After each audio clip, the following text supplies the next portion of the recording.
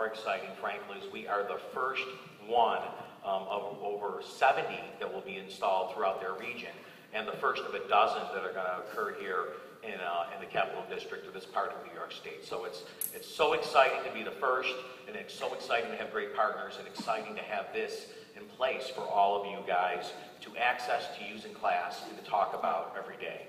Um, so without further ado, um, it's truly a pleasure for me to introduce Mr. Jim Maddy, National Grid Senior Price, Vice President for Customer Energy Solutions. All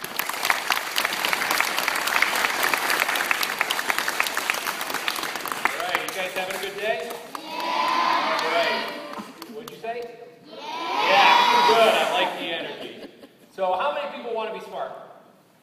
All right, I like it. Well, I wasn't so smart when I was in school, um, uh, but I, uh, I seem to have gotten uh, this this one right.